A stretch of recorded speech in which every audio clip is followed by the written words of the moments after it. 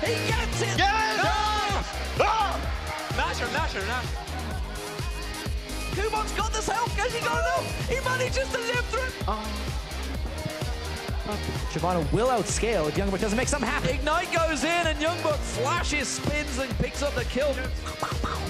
That's a really hurt Livic. That's a very hurt Livic, and then Hawk Battery follows it through. Kuban also pops. He goes down, and that's two kills easily.